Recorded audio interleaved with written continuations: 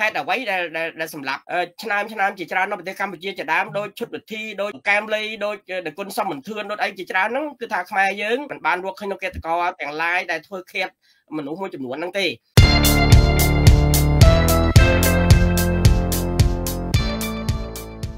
អានផងដែរហើយគិតថានៅក្នុងព្រឹត្តិការណ៍នេះ ខ្ញុំកណាមានការសោកស្ដាយដែរគ្រាន់តែថានៅក្នុងសម្ដាយសង្គមនេះឥឡូវវាផ្សព្វផ្សាយទូទៅហ្នឹងវាទលំទលេណាស់ទៅហើយក៏ប៉ុន្តែយើងគ្រាន់តែថាចូលរួមក្នុងនាមជាអ្នកសារព័ត៌មានផ្សព្វផ្សាយនៅព័ត៌មានទាំងឡាយគឺយើងចូលរួមក្នុងការរំលែកទុកហើយចូលរួមសូមឲ្យដួងវិញ្ញាណក្ខន្ធ កម្មវិបាករបស់គាត់នឹងបានឆាត់ទៅកាន់សុខទេភពចឹងណាចំពោះខ្ញុំកណាវិញនៅក្នុងព្រឹត្តិការណ៍នេះឃើញថាយើងយើងលើកឡើងពីពីពីប្រទេសជប៉ុនបន្តិចថាប្រទេសជប៉ុនថ្មីត្បិតតែអាការងារកើតឡើងរឿងរ៉ាវកើតឡើងវាវាវាវាដូចថារន្ធត់ដល់ប្រជាជនពិភពលោកប៉ុណ្ណាក៏ដោយក៏ប៉ុន្តែរដ្ឋាភិបាលក៏ដូចជាអ្នកនយោបាយរបស់ជប៉ុនហ្នឹង គឺប្រហែលជាគេធ្វើការងារបានល្អជាងស្រុកខ្មែរមកអំពីពេលដែលធ្វើរឿងរ៉ាវកើតឡើងភ្លាមគេចាប់ឃាតករបានតែម្ដងយើងមិននិយាយពីលោកស៊ិនស៊ូអាបេទេព្រះអង្គព្រះអង្គព្រះអង្គវិទ្យាធម្មលើកឡើងពីស៊ិនស៊ូអាបេច្រើនហើយខ្ញុំកណាលើកឡើងពីទស្សនវិជ្ជាពិតពិតវិញកណាចង់និយាយថាទស្សនវិជ្ជាពិតហ្នឹងអ្នកនយោបាយនៅជប៉ុនខ្ញុំកណាគិតថារឿងរ៉ាវនោះវាកើតឡើងប្រហែលជាប្រិយមិត្តបានលើហើយថាជប៉ុនមានលើលេចលើរឿងមួយចំនួនថា អឺនយោបាយជប៉ុនហ្នឹងវាអាចមានបញ្ហាខ្លះនៅក្នុងរដ្ឋអំណាចរបស់ជប៉ុនហ្នឹងគឺមានមាននៃរដ្ឋមន្ត្រីមួយចំនួនហ្នឹងមិនចង់ឲ្យអឺជប៉ុនហ្នឹងលើកឡើងអំពីកិច្ចការងារចូលរួមចំណែកក្នុងការទប់ស្កាត់នៅសមាជិកខាងត្បូងចូលរួមចំណែកក្នុងការងារការពារតៃវ៉ាន់ហ្នឹងទេអឺគេថាការពារតៃវ៉ាន់ខ្លាំងពេកនិយាយពីតៃវ៉ាន់ខ្លាំងពេកធ្វើឲ្យជប៉ុននោះមានបញ្ហាជាមួយចិននោះធ្ងន់ធ្ងរ អញ្ចឹងពេលនោះលោកស៊ិនស៊ូអាបេហ្នឹងគាត់ផ្សាយកិច្ចការងារមួយចំនួននៅក្នុងការព្រឹត្តិការណ៍មិនព្រឹត្តិការណ៍កាត់ឡើងនោះវាអាចផ្ទះទួរឿងអស់ទាំងហ្នឹងប៉ុន្តែយើងមិនបានស៊ីជម្រៅទេធ្វើឲ្យឈានទៅដល់មានការគិតគូរសម្រាប់ហ្នឹងមិនមែនថាចាប់ដើមរឿងរ៉ាវហ្នឹងបានបានកើតឡើងភ្លាមហើយអ្នកខ្មាំងកំភ្លើងមកសម្រាប់ពេលហ្នឹងទេវាមិនមែនអញ្ចឹងទេខ្មាំងកំភ្លើងប្រហែលជាមានការអឺទំនាក់ទំនងជាមួយក្រុមណាមួយទៀត ខ្ញុំគាត់ចង់និយាយចឹងថាវាអាចមានតំណែងចំនួនជាមួយក្រុមណាមួយទៀតហើយរក្សាអាសម្ងាត់ហ្នឹងរហូតដល់បច្ចុប្បន្នហ្នឹងគឺមានឱកាសទៅធ្វើកិច្ចការងារសម្រាប់លោកស៊ិនស៊ូអាបេហ្នឹងមានន័យថាវាអាចមានចំនួនស្រីមួយរវាងជនជាតិជប៉ុនហ្នឹងក៏មួយនឹងជនជាតិចិនឬក៏ពីព្រោះនៅក្នុងប្រទេសជប៉ុនមានជនជាតិចិនជាច្រើនដែររស់នៅក្នុងប្រទេសជប៉ុនយើងត្រូវយល់ថាការកើតឡើងនៅរឿងរ៉ាវទាំងឡាយដែលពាក់ព័ន្ធជាមួយលោកស៊ិនស៊ូអាបេដែលជាអ្នកស្ថាបនិក នាំមកសន្តិភាពឲ្យសមុទ្រចិនខាងត្បូងហ្នឹងគឺថាគាត់និយាយពីរឿងរ៉ាវនយោបាយច្រើនហ្នឹងតេះទួងជាមួយនឹងប្រទេសទាំង4តេះទួងជាមួយនឹងសមុទ្រចិនខាងត្បូងតេះទួងជាមួយនឹង Indo-Pacific អីជាដើមហ្នឹងគឺថាគាត់ជាអ្នកមានស្នាដៃក្នុងការងារជួយជ្រោមជ្រែងកិច្ចការងារអស់ទាំងហ្នឹងអញ្ចឹងខ្ញុំថារឿងគាត់គឺជារឿងនយោបាយមិនមែនរឿងផ្ទាល់ខ្លួនទេ ហើយនាំឲ្យមានការកើតឡើងរឿងរ៉ាវទាំងអស់នេះគឺជារឿងនយោបាយសុទ្ធសាធ ពីព្រោះខ្ញុំតាមដានមើលរឿងទាំងអស់ហ្នឹងឃើញថាខ្មាំងកំភ្លើងដែលត្រូវបានគេចាប់បានហ្នឹងគឺថាមានការអឺគ្រប់គ្រងការហ្នឹងទុកជាមិនដល់ថ្នាក់គេអាចកែប្រែអាកំភ្លើង ដែលកាន់យកទៅសម្លាប់ហ្នឹងដូចជាកំភ្លើងហ្នឹងមើលទៅរូបរាងដូចជាម៉ាស៊ីនថតរូបចឹងធ្វើឲ្យពួកអង្គរះទាំងឡាយហ្នឹងមើលមិនដឹងថានេះជាកំភ្លើងកែច្នៃទេអញ្ចឹងទេការចូលរួមចំណែកយើងទាំងអស់គ្នាមើលឃើញពិភពលោកហ្នឹងវាវាច្រើនជ្រុងទៅវាគ្រប់ជ្រុងទៅមើលឃើញចំណុចខុសៗគ្នាអញ្ចឹងអញ្ចឹងកណាលើកឡើងថា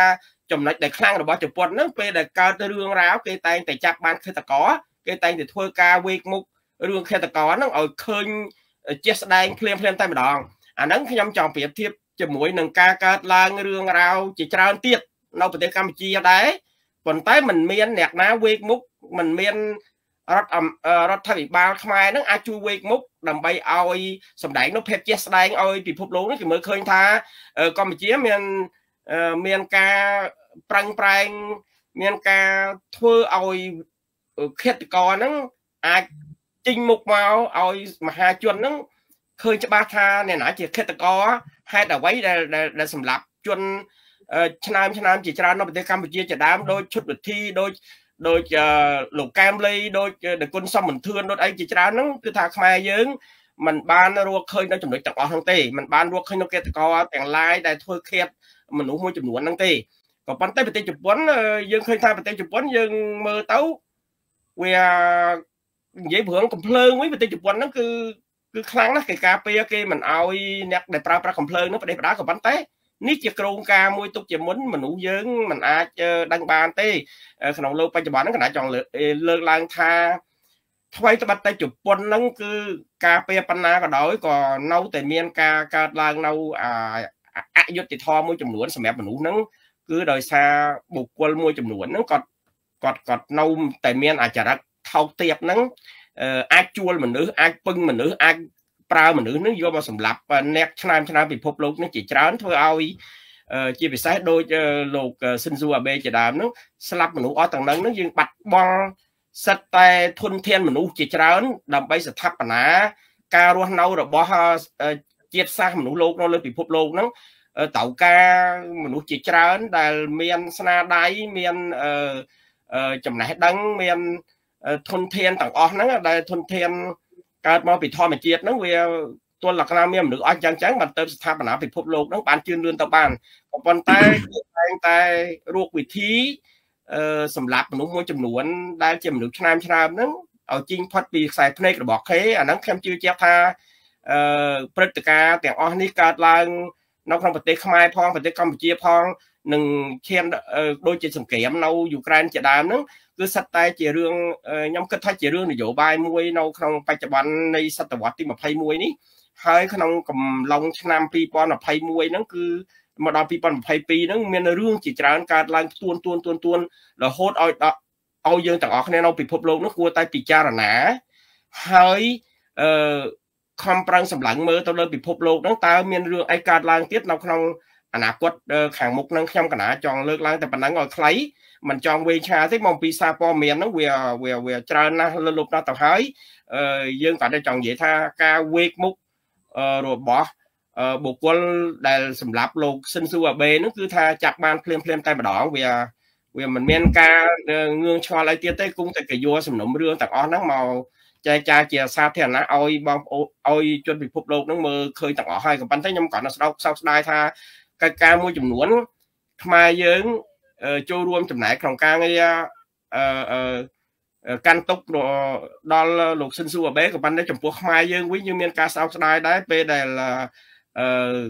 មនុស្សឆ្នើមរបស់ខ្មែរយើងស្លាប់មួយចំនួនអត់មានសូវមានឃើញរដ្ឋាភិបាលចូលរួមក្នុងការងារធ្វើ